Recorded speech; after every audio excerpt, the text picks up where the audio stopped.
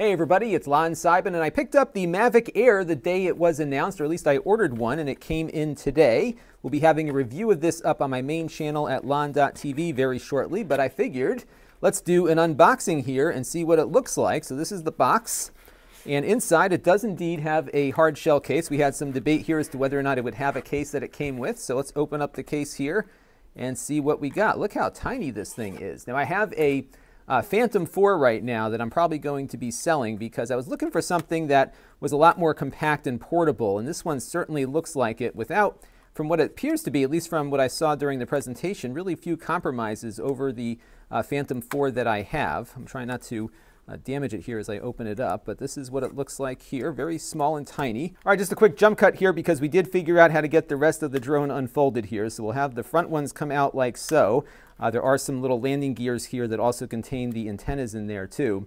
And then for the back uh, thing here, you don't pull it out, you push it down and it flips up like so, which is a really nice little mechanism there. Hopefully this will uh, stand the test of time and then you are ready to fly. Uh, the other thing is the uh, front cover here on the camera. What you do is undo this part here and then you have to uh, slide it out. And I'm a little nervous about this part because sometimes it takes a little bit of force. So what I would do is just get a good grip on it and just gently kind of nudge it forward to uh, pull that out to expose the 4K camera and the gimbal here. It feels very delicate here, so when you are transporting, uh, you definitely want to put this thing back on, which you do just by sliding it in like so and snapping it down in there. Uh, it delivers about the same battery life as the Phantom 4 that I have, maybe a little bit less, but it does have the 4K camera. Now this one uh, is a 30 frames per second 4K camera. Uh, that is the same as the Phantom 4 that I have, but apparently the new Phantom 4 can do a 60 frames per second capture uh, with that camera. But what this does have, and I still have to kind of figure out how to open up everything here, uh, what this does have is the ability to do uh, 120 frames per second at 1080, which I think will be pretty cool. So I'm going to be experimenting with all of that stuff over the next couple of days, and then when we have the main review, you'll see all that. Looks like the battery goes in here, so we're going to unpack this and uh, do it the right way without breaking it, and uh, we'll have more again on the full review that you'll find at lon.tv. So I need to really figure out what the best way to fold this thing up is. I'm going to put this aside for a second before I break something. And let's go into the rest of the package here. The other thing that I bought with this was their uh, service plan. It's like $90 for the year. And if you break your, your drone, crash it into something or whatever, they will give you another one which I thought was a good uh, option to pursue here, given that I'm probably going to be flying this one a lot more and probably will crash it a few times. Um, here's some props that it comes with, some extra ones in case you damage the ones that it came with. And then uh, here are some uh, little bumpers for the props so you can fly it around inside without any uh, risk of damage there to uh, the drone or other things. Lots of manuals to look at here. I'm sure we'll be spending some time uh, going through those. And of course, they're here to help. So that is what you get there. And let's see what else we got in here. This is the controller, and it looks pretty compact here. Now what you do is you put your phone in here. Um, so this thing uh, slides open, I believe, and you can get your phone inside of it. Uh, there are sticks that you have to screw on top of this. So uh, let's see if we can get the controller out here. So we slide these things out like so, put the antennas up like that.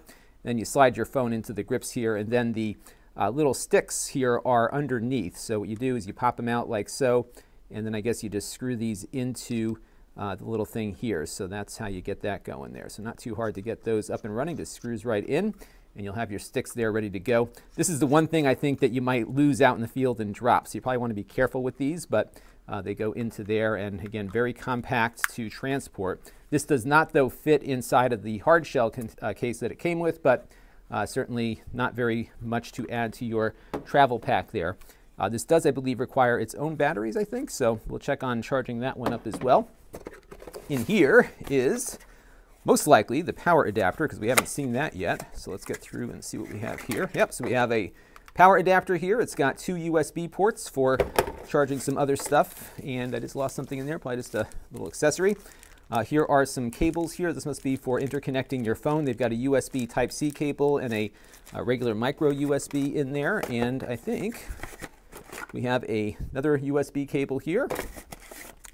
And this looks like a power cable for the United States, which is where I happen to live. And that looks like that is it. So what we will be doing is uh, figuring out how to unfold the rest of the drone here and uh, doing a full review, which you'll find on my main channel at lon.tv. So definitely subscribe if you aren't already. We'll be having a a full review of this one, and we are very eager to start playing with this and figuring out uh, what makes it tick. So stay tuned, a lot more to come. This channel is brought to you by the Lon.TV supporters, including gold level supporters, the Black Eyed and Blues Music Hour podcast, Chris Allegretta, Steve Blixt, Stanley Taub, and Kalyan Kumar. If you want to help the channel, you can by contributing as little as a dollar a month.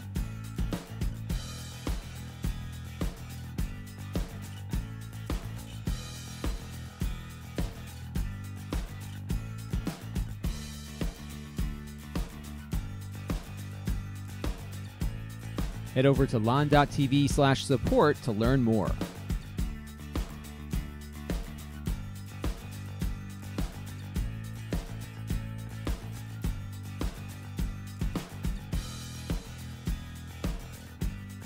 And don't forget to subscribe. Visit lon.tv slash s.